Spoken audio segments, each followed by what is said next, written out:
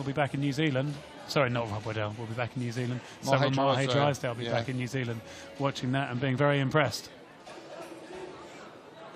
So the men's eights, five crews in this, and again we have another New Zealand crew. They'll be wanting to perform better than they did yesterday. There's the boat, Greg. So yeah, time for the men's eight. Eight rowers. Cox sitting in the back of the boat, not necessarily male or female anymore. The blades not necessarily in those positions. They can occasionally put in the tandem, put the two blades together if they want to configure the crew that way. Um, but here we see the lineup. The crew's sitting quite relaxed still on the start. They know it's not quite time to go yet. They won't have had the call over yet. So still just keeping relaxed. The, the calm before the storm. And so to New Zealand, coach coxed, sorry, by Caleb Shepherd, who took the New Zealand Olympic eight to that sixth place in the final. Germany, the favourites for this race, they're Cox, Martin Sauer, Cox the Olympic silver medal eight, and Hannes Ocik in the stroke seat. Stroked that boat to a silver behind Britain. Nobody in this boat was in the British boat that took gold in Rio. It's a new crew, new young crew. And this Australian crew likewise stroked by Alex Purnell. Alex Purnell from Sydney University. And the Poles, silver medal, great silver medal from them in the Europeans. You used to race these guys, Greg. Yeah, the Polish eight were always very strong. You always knew what you were going to get with them, which was total commitment. They would try to lead at 500 and then they'd try to hang on and carry on going. And uh, yeah, I expect to see nothing different from them today. Likewise, the German eight, very used to racing against German eights, and I think they are the form crew here. I think they will look to get out and just keep churning it out as they uh, as they started the season doing at World Cup One. Great Britain. So last race of World Cup 2, the call over, the start will be soon. Attention.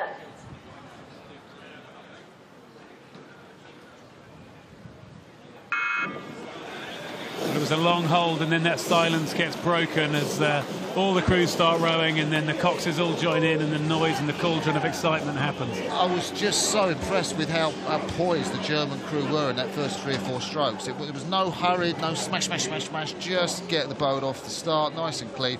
For them, their boat speed is 250 to 650. That's where they look to build the pace.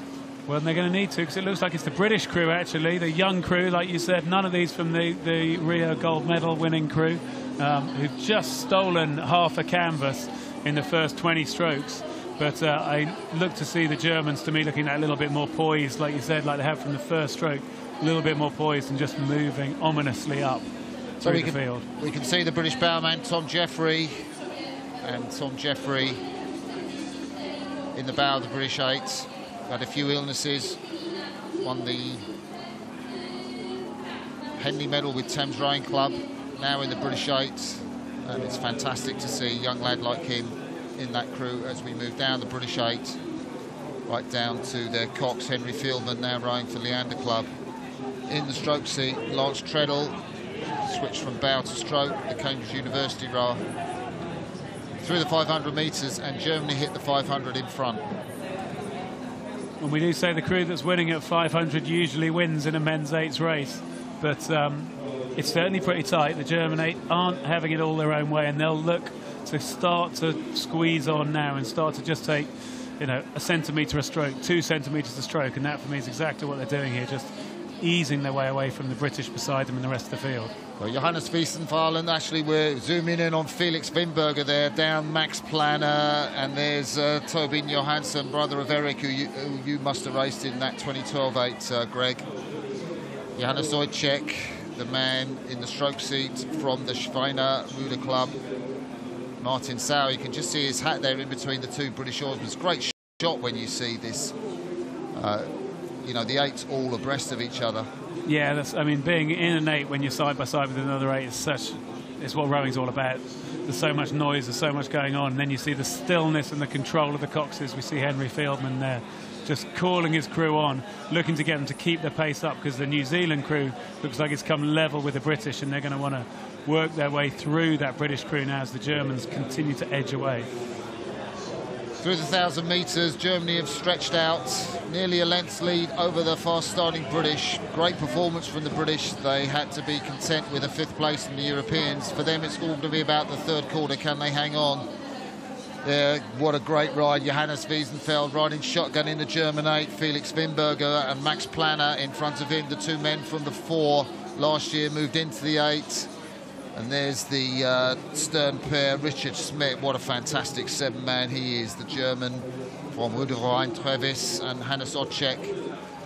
We see the Kiwis, that's a much better performance from them. They were very disappointed yesterday. They were right off the pace, but now coming back into the race head-to-head -head with the British.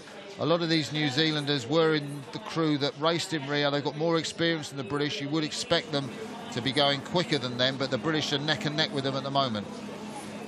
Yeah, that's right. The New Zealand crew just looking to ease their way through.